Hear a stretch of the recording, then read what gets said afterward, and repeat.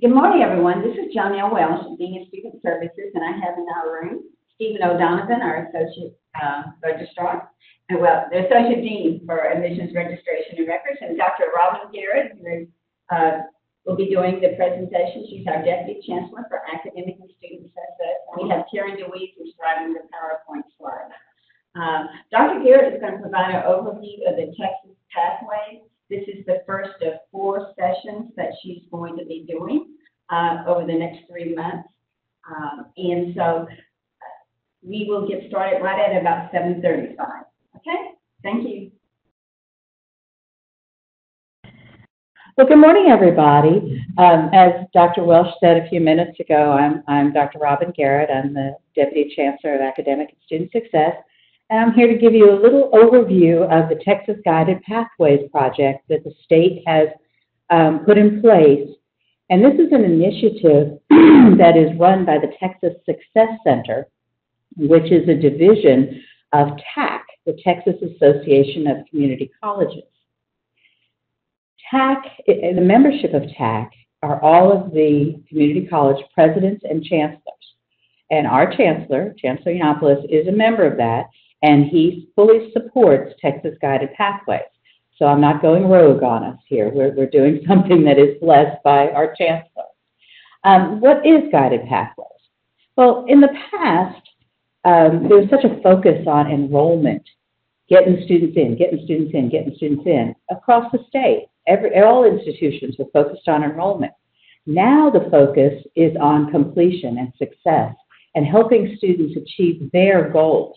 And that's the crux of Texas Guided Pathways.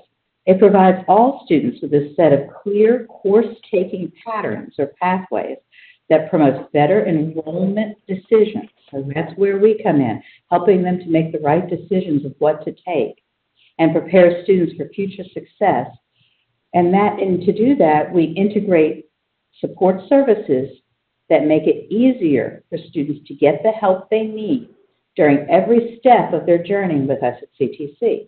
So that is what Guided Pathways is about. And it's about taking a look at our processes and our procedures and what we do to help students reach their goals. So within Guided Pathways are four pillars. And we say, yeah, well, we do all of these, and we do, but we have to make a concerted effort to enhance our processes. We have to clarify the path for our students and have clear curricular pathways from their high schools all the way through employment. We have to help them enter the path, make a decision as to what path they truly want to be on, and to stay on the path. And that takes into, that, that's all part of our student success teams and our advising and all our processes to help them stay on the path. And then we have to ensure that they're learning things while they're in our, our uh, care, while they're taking classes with us. We have to make sure that what they're learning is applicable to what they need to do when they get into the workforce or transfer to a university.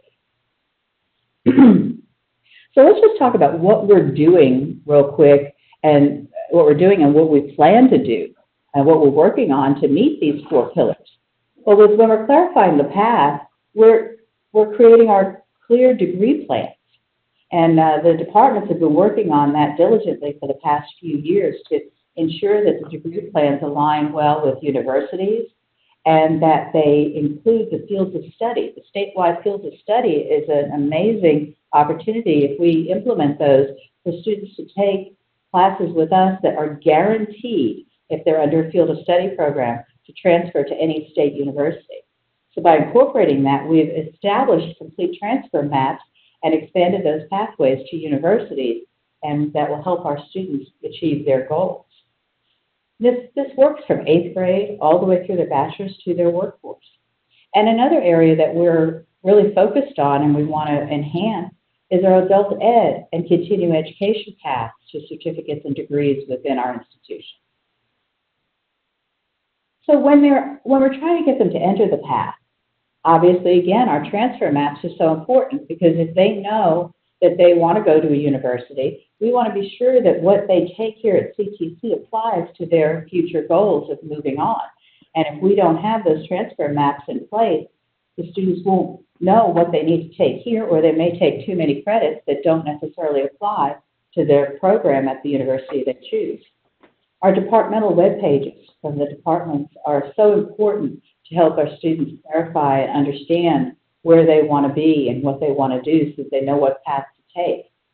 And then one of the things that um, the department as well as uh, the Julie in the student success area is working on it are on the orientations. The career cluster breakout sessions. We had one last orientation for the healthcare area, and it was so successful that at our next orientation, we'll have a, a, a bunch of the career clusters, and hopefully we'll have even more at every orientation. That's when the student will really make a good, clear decision as to what path they want to be on, or possibly can change their mind from their origi- original path where they find out that, oh my goodness, I won't have to play with tonight.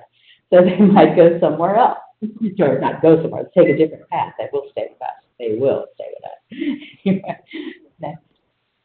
so how do we keep them staying on the path? Well, we are working on many, many, many, many projects throughout this institution that help students stay on the path from our referral system and our retention alerts, our student success teams, um, online student orientation. We think, well, what about orientation? That should be getting them on the path, not staying on the path.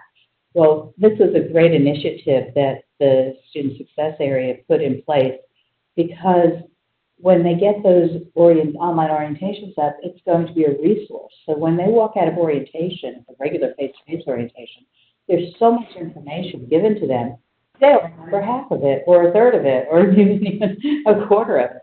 And then go back and review and see specific topics in the online student orientation at any time.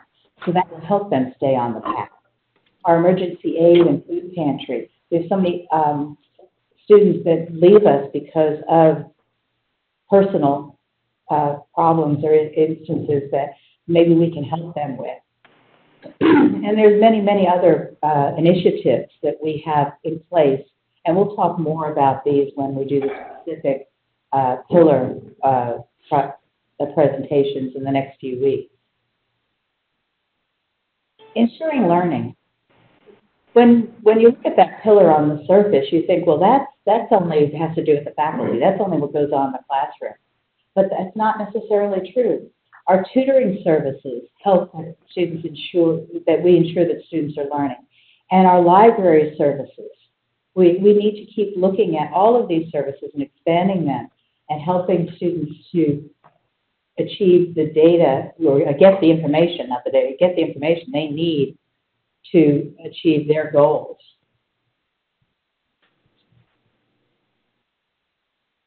So whose responsibility is Texas Pathway? Well, everyone at Central Texas College is part of the Texas Pathways Initiative, whether you knew it or not, you're all part of it. And as well as our ISD partners and our university partners. Because a student from the school districts come through us and we have to help them choose their path, stay on the path, and move to a university. However, we do have a focused team that looks and works with Texas Pathways directly and that is the Institutional Action Council, IAC. But without two leaders of this program, Ellen Falkenstein and Amelia Fairfield, we would not be where we are today. When we started with Texas Pathways, we were placed in Cadre 3, which is at the bottom, there's a Cadre 4, but Cadre 3 is, was still at the learning process, learning what to do with Texas Pathways. These two people, Ellen and Amelia, brought us all the way to Cadre 1. We skipped Cadre 2 from the work that they did and what they brought to this institution leading the Texas Pathways Initiative. So my hat goes off to these two ladies. They did a great job, and the Institutional Action Council supported them. And we hope that everybody at this institution will continue to support Texas Pathways. So how does Texas Pathways align with the state goal of 60 by 30 TX? Well, The state goal has an overarching goal that by 2030, at least 60% of Texans aged 25 to 34 will have a certificate or a degree. So they're looking to the year 2030, so keep that in mind. So CTC decided, looking at our data, that we could project that we should have 3,300 graduates in the year 2030 of certificates or a degree. So we made that projection before 2018. Well, look, at we went down from 2017 to 2018. We went down our statewide numbers from 2413 to 2255. So we have a little bit of work to do to get to our goal of 3,300. The Central Texas region itself is expected to reach 100,000, close to 100,000 graduates in the year 2030. And that's to help us reach the, reach the completion goal of 550,000 students in 2030 will receive a certificate, associate, bachelor's, or master's degree from an institution in Texas. So the Central Texas region needs to meet about, mm, I guess, about a fifth of that 550,000 goal. Each institution, when they submitted their projected goals, only totaled to 69,217. That's well short of the 100,000, the 99,887 that the state wants us to do. So we really need to work hard to meet these goals. But each of these goals is directly related to pathways. And the state is hoping that Texas Pathways will put us over the mountaintop that we're trying to reach and surpass the 550,000 students that year that will get the certificate, associate, or bachelor master's degree in the year 2030. and our CTC strategic plan really aligns well with Texas Pathways. Priority one, enhance student success. Well, isn't that Texas Pathways? It's all about student success. Goal 1.1 was increase completion rates for certificate and degree seeking students. That is Texas Pathways, and that is the 6530 TX state uh, mandated goals. And goal 1.2, enhance services and processes to promote student success. Well, that also is Texas Pathways. We're supposed to look at our processes, which we've done for the past two years, and we've made many, many enhancements to what we're doing to promote student success.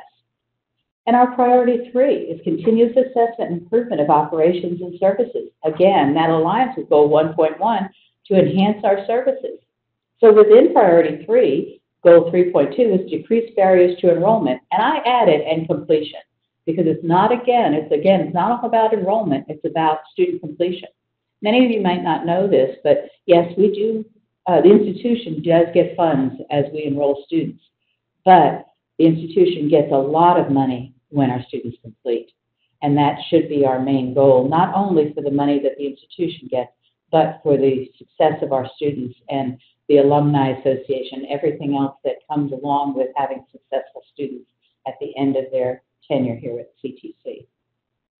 So statewide, what are the goals for pathways? Well, develop clear pathways for each and every student, and that's where our student success teams and our advising teams and everything else come into play.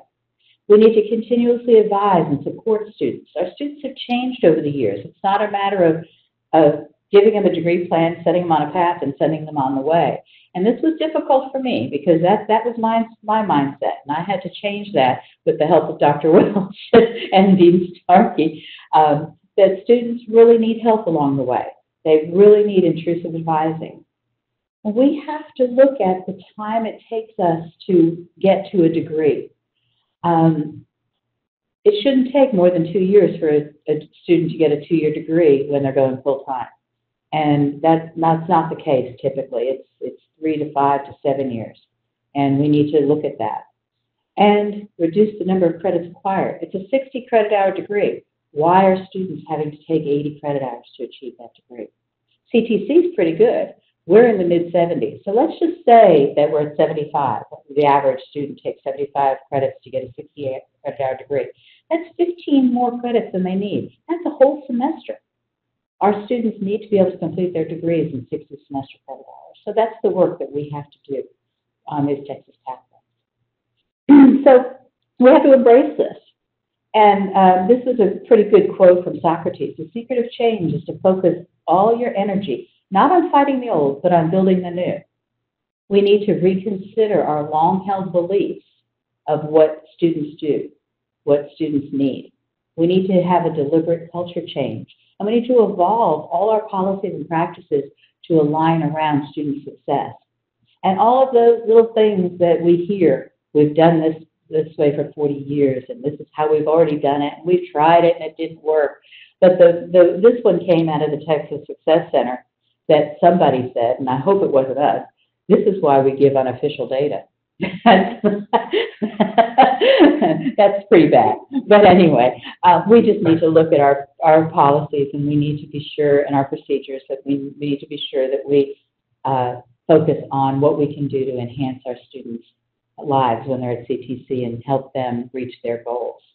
So the people that are involved with the Institutional Action Council are on this list and they are members. And if you have any questions about Texas Pathways, each and every one of them are fully versed in Texas Pathways and are, will be more than willing to give you more information. And then um, I will be doing two more, at least two more WebExes on the pillars. I think I'm going to do two pillars on January 22nd and two more pillars on February 12th. But March 3rd is the big day. We're going to have a live meeting of all of the student success teams. That includes advising, student success and persistence, faculty that are part of the, the teams, because each student is being assigned a student success team. Um, a student may have, depending on where they are, a developmental uh, faculty member. They may have a disability support services member. It depends on where the student is in their life with CTC. So we're going to have a big meeting of all these student success teams and kick it off and, and talk about what it takes to have our students achieve their goals. So thank you very much. And uh, if there's any questions, please type them into the chat box. Let's get our students successful.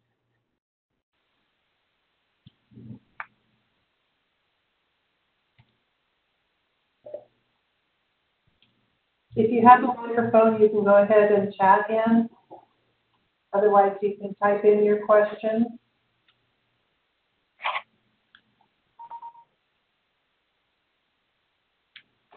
While we're waiting for that, you know, another thing that we really should do is be supporting the students' effectiveness, even if it's different from what we've always done. Kind of on my embracing slide there. Just as our students change, our process to help them to get to completion also has to change. And as we know, the millennials, Gen X's, Gen Ys, all of these these uh, areas, the students have have changed, and what their expectations are, and how we need to serve them has changed.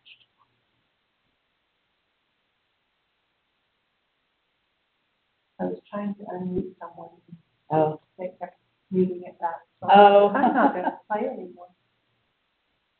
All right. We appreciate everyone for joining us today and we'll be back with you on January twenty-two. We'll have our normally scheduled WebEx on January tenth, presented by Mr. O'Donovan, the department. Yes. happy holidays. Happy holidays to everyone.